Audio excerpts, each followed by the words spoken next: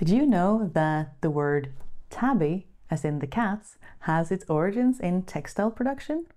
And even for the weavers out there who may associate tabby with a type of plain weave, it goes even deeper than that.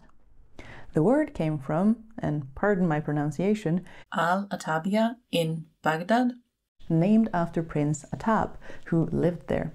They produced a specific type of silk taffeta with a wavy moire quality to it, which came to be known as atabi in medieval Latin, later tabi in French, and eventually tabby in English in the 1600s.